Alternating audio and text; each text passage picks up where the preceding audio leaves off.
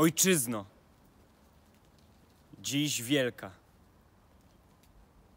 niegdyś smutnej kolei, odarta z sił bogactwa, wiary i nadziei, wbrew wszystkiemu pogrzebana, w niewoli trumnie. Podniosłaś się z kolan, nosisz głowę dumnie. Piszę do ciebie, aby w niepodległych czasach podziękować za walkę w miastach, wsiach i lasach.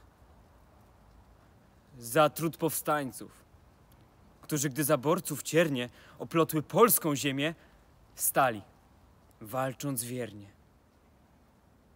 Pod wodzą Kościuszki, Prądzyńskiego Trauguta, a w sercach rozbrzmiewała im niepodległa nuta.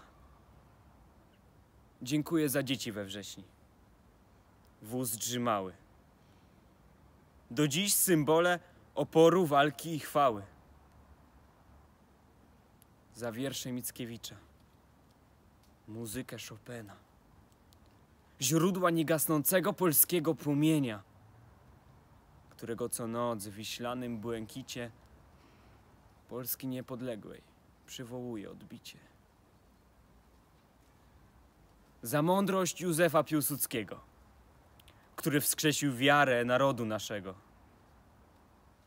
Za Dmowskiego, Witosa i Paderewskiego. Wszystkich mężów stanu państwa polskiego, bo to ich słowa padły na ziemię żyzną. Dzięki nim Polska stała się wolną ojczyzną. Dziś tulę cię do serca czule, chcąc zdjąć z twych barków troski, obawy i bóle. Obiecuję wspierać i kochać cię przez lata. Będę pamiętać o tobie.